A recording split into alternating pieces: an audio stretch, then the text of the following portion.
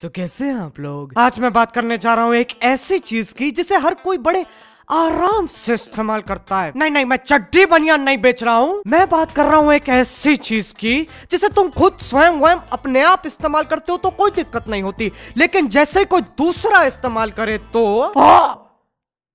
काली दिया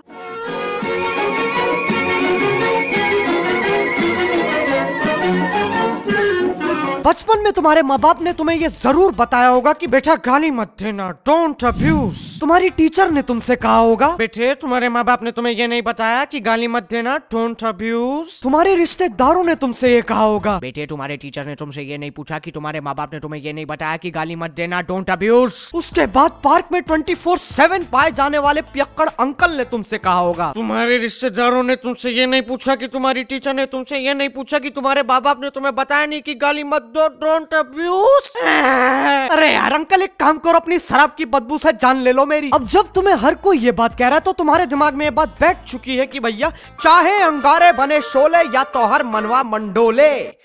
गाली नहीं देना अब अगर तुम किसी से पूछोगे ना भाई साहब ये गाली क्यों नहीं देनी चाहिए बुरी बात है आ, बुरी बात क्यों है बुरी बात है तो बुरी बात है अबे अगर गाली देने से किसी के खेत में पानी नहीं जा रहा होता या फिर बच्चे नहीं हो रहे होते तब तो यार समझ में भी आता है ये क्या कारण बुरी बात है बहन चो पागल हो जैसे नशे का हमें पता है वो इंसान को अंदर से खत्म कर देता है अब एक दिन अगर मैं गाली नहीं दूँगा तो मेरे शरीर में खुजली थोड़ना शुरू हो जाएगी गाली देना बुरी बात है ये एक परंपरा की तरह है रहा होगा कोई प्राचीन चूतिया जिसने घोषणा कर दी होगी ढम ढम ढम ढम ढम बेरे बस तब से यही चलता आ रहा है। और और ये बीट बॉक्स कौन कर रहा है पीछे से? मज़ाक नहीं हो रहा है इधर?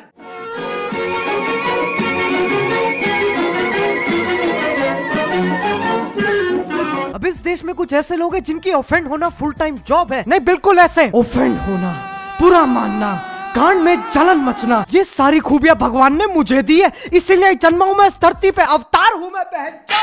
उस बात से फ़र्क नहीं पड़ता तुम उन्हें गाली दे रहे हो किसी और को। ना अरे! जैसे ही वो प्यारे शब्द उनके कान में पड़ते हैं उनके दिमाग के घोड़े भगना शुरू हो जाते हैं। आओ यार तुम्हें मैं एक लव स्टोरी सुनाता हूँ। एक लड़का और लड़की आराम से बैठे हुए थे। फिर एक बदमाश लड़का नोटी बॉय लड़की को छेड़ने की कोशिश करता है और उसको भगाने के लिए लड़का कहता है ए, ए भगया से! साले हरामी लोग पता नहीं कहाँ से आ जाते हैं। क्या तुमने क्या बोला अभी? ये हरामी लोग गली दिया? हाँ।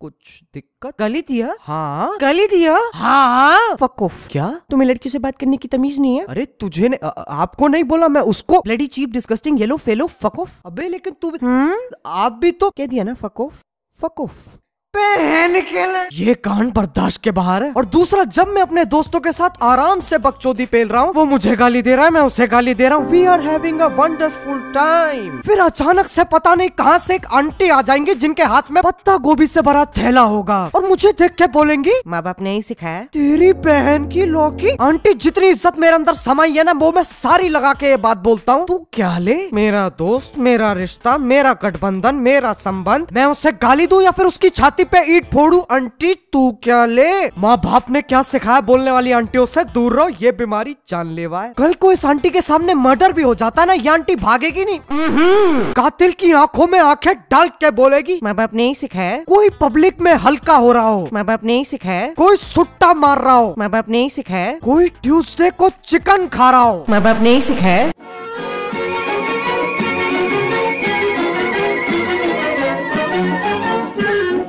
ये बात सुनने में बड़ी अजीब लगेगी लेकिन सेक्स एजुकेशन की तरह गालियों के बारे में भी पता होना ज़रूरी है। ऐसे समझो एक सात साल का बच्चा है जिसे दुनियादारी के बारे में कुछ नहीं पता। वो अपने पापा से पूछता है पापा पापा वो शाहिद मेरे को चूतिया बोला और सब हंस पड़े। क्या होता है चूतिया? बेटे शाहिद मज़ाक कर रहा था।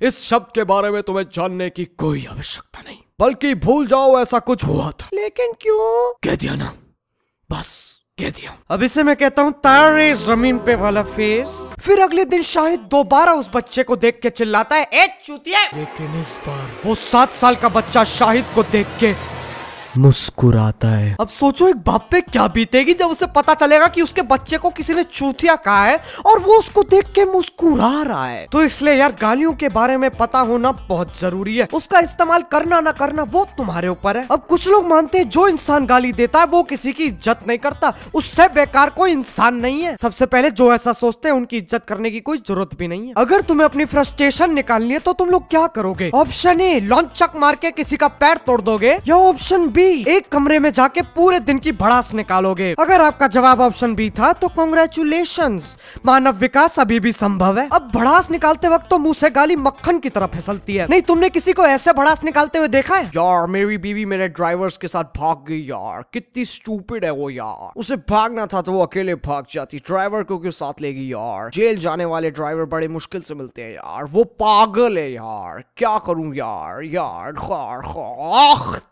ऐसे दिमाग को संतुष्टि नहीं मिलेगी। टेंशन आ जाएगी, उदासी छा जाएगी। एक खाते पीते घर का बंदा नपुंसकता का शिकार हो सकता है। तो ज़रूरी नहीं है वो इज़्ज़त नहीं करता, बदतमीज है। और ये मत समझ लेना कैरी कह रहा है, इज़्ज़त से गाली दो। बिल्कुल नहीं। पता चल रहा है तुम में से कोई अपने पड़ोसियों को कह रहा है, आओ भोसड़ी वालों, चाय पीते हैं। नहीं नहीं नहीं नहीं। गलत गलत रास्ते पे जा रहे हो। यू टर्न मारो।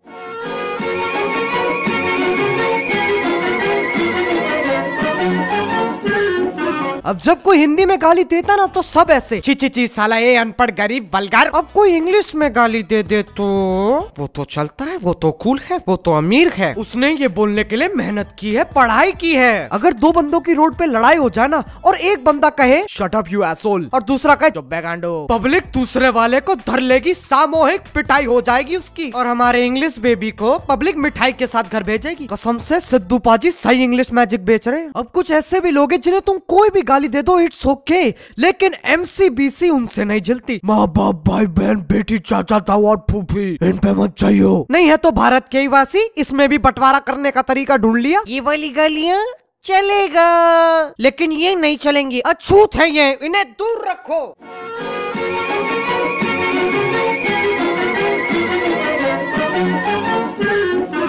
तुमने कभी सोचा है कि गालियों पे क्या बीतती होगी? तुम उन्हें इस्तेमाल करते हो और उसके बाद उन्हें भूल जाते हो। उनके साथ मज़े करना सीखो यार, इतनी बुरी नहीं है। एक रात तो गुजारो उनके साथ मनोहर के कोठे पे। क्या पता वो तुम्हें चौंका दे, हिला दे, दर्द दे डिस्को करा दे? तो यार बस, आज के लिए सिर्फ़ इतना ही। मैं ये बिल्कुल नहीं कह रहा हूँ की तुम लोग खुला गाली दे सकते हो। मैं तो बस ये कह रहा हूँ की गालियों को मज़ाक की तरह लेना चाहिए। अगर तुम लोग मेरी इस बात से सहमत हो तो यार लाइक मारो। और अगर मेरी ये खूबसूरत आवाज़ पहली बार सुन रहे हो तो सब्सक्राइब करो। वो जो लाल वाला बटन है, उसके साथ हैंग आउट मारो या चिल करो, मुझे नहीं पता, बस क्लिक हो जाना चाहिए। चलो यार, अब मैं जा रहा हूँ, मनोहर का कोठा दूर नहीं। बाय मोहित, क्योंकि माँ बाप ने यही सिखाया